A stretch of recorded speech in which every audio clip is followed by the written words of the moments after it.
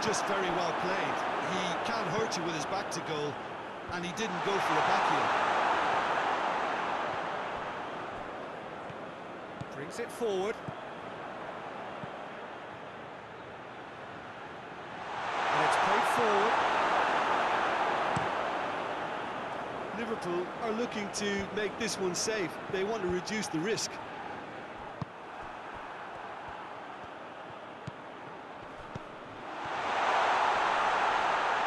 Looking to force his way through. Has a pop! Do not write them off. Back they come.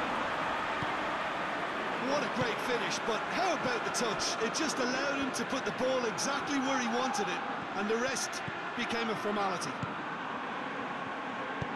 And that has added a whole new complexion to the game. Listen, with the momentum that goal gives them now, they may well push for a winner before the 90 minutes is up. Players don't like extra time, believe me. Conte.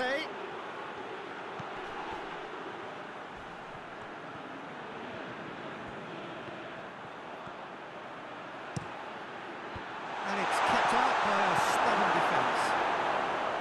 Liverpool showing a good level of intensity at this stage. They're calling on all their resources now. Mohamed Salah. Chance to shoot! Look, this can still go either way. It might be flowing one way, but there's still time for some ebb.